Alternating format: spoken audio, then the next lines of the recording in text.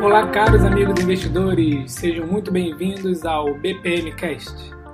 Aqui o nosso podcast fala sobre investimentos tanto no Brasil quanto no exterior e também sobre empreendedorismo, o que mais você quiser trazer aqui como tema para a gente conversar, debater, trocar ideias e crescer juntos aí no conhecimento rumo à independência financeira.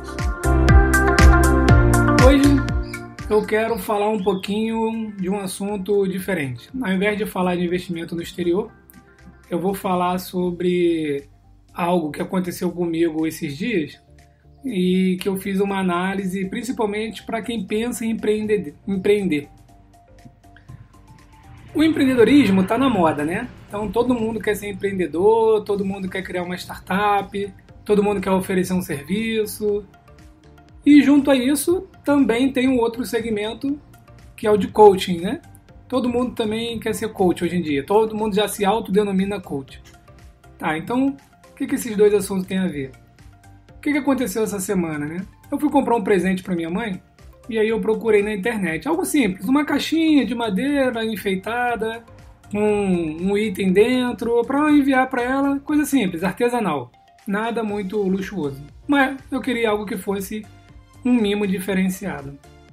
Encontrei na internet, achei num, num site é, desses que reúnem vários é, pequenos empreendedores, desses que fazem as coisas artesanais, né? E colocam lá no site para vender como se fosse um Mercado Livre, só que um outro site.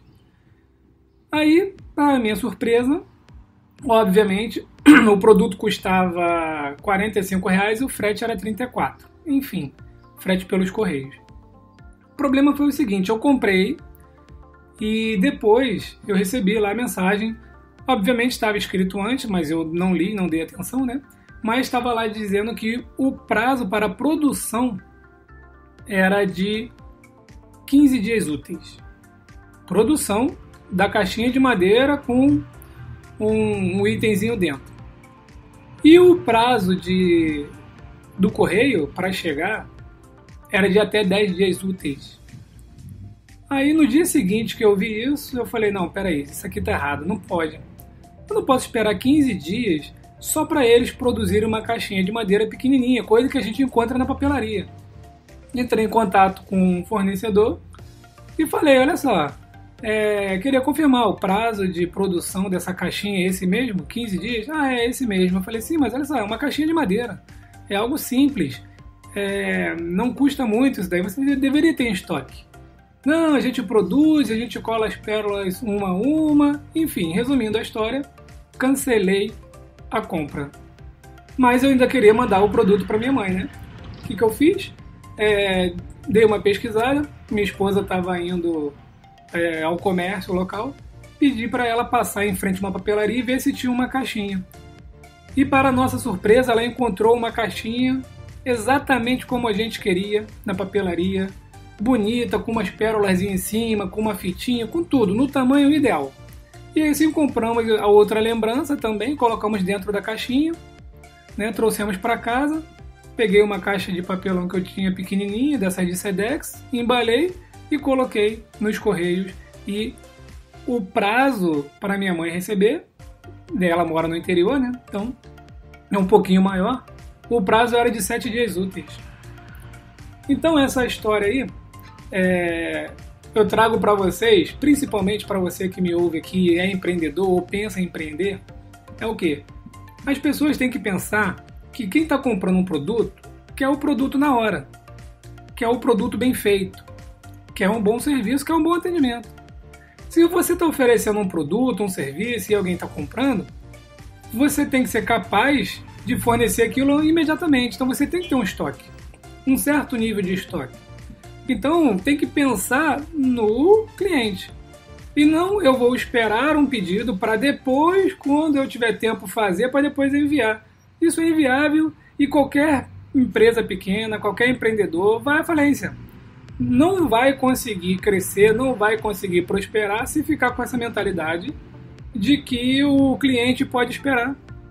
Hoje em dia, as coisas são muito dinâmicas. Você vai no lugar, se você não encontra, você vai no outro, você encontra, você compra. Então, para você que me ouve aqui, mas é empreendedor ou pensa em empreender, sempre pense no cliente, certo? Então, eu fiz aqui já um, no site bpmilhão.com uma postagem falando do Resumo Cast, que resume livro para empreendedores. Então, eu acho ótimo. É, acessem lá, vejam a postagem, acessem também no canal no YouTube ou baixem o aplicativo do Resumo Cast, que é muito bom para esse tipo de assunto que eu estou trazendo. E por que, que eu falei lá também do papo do coaching, né?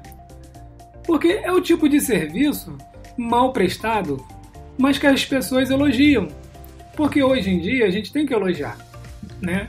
Hoje é, você não pode dizer para uma pessoa que ela fez um serviço mal feito. Se você falar isso, você é uma pessoa ruim, você é uma pessoa má, você tem que incentivar e você está desincentivando. Então eu deixei o meu feedback. Eu falei: olha só, eu gostaria de deixar meu feedback. Eu estou cancelando é, a compra, mas gostaria de deixar meu feedback. Eu sou um cliente que entrei na internet procurando por um produto para enviar para minha mãe, eu gostaria que fosse enviado de imediato. E então estou desistindo da compra e estou te informando que o seu serviço não está sendo bem executado. E que assim como eu, outros clientes também vão pensar a mesma coisa. Então, se você quer empreender, se você quer crescer, se você quer prosperar, você precisa mitigar essa sua falha que é 15 dias para produzir uma caixinha de madeira que você pode comprar na papelaria no dia seguinte.